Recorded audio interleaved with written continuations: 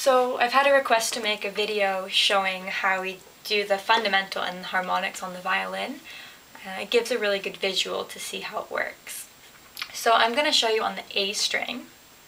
And this is an open A, which is 440 hertz, which is the standard for A. Um, so that's my fundamental. Now if I want to make the second harmonic, I have to make a node halfway up the string. So for me, halfway up the string is here. So that's what my second harmonic sounds like.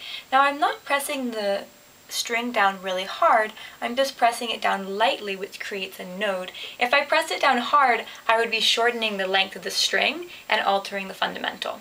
So I'm just pressing it, pressing it down lightly. So that's the second harmonic. And by putting my finger down halfway through, you can see that the wave is going to be going like that because there's a node in the middle, which is the shape of the second harmonic. So I can also do this for the third harmonic. My finger is a third of the way up the string. And the fourth harmonic. My finger is a fourth of the way up the string. I could also do it here because my finger is also a fourth of the way there. It doesn't make a difference because once we have that node there, the wave will continue in that quarter pattern. So we have the fundamental, the second harmonic, the third harmonic, and the fourth harmonic.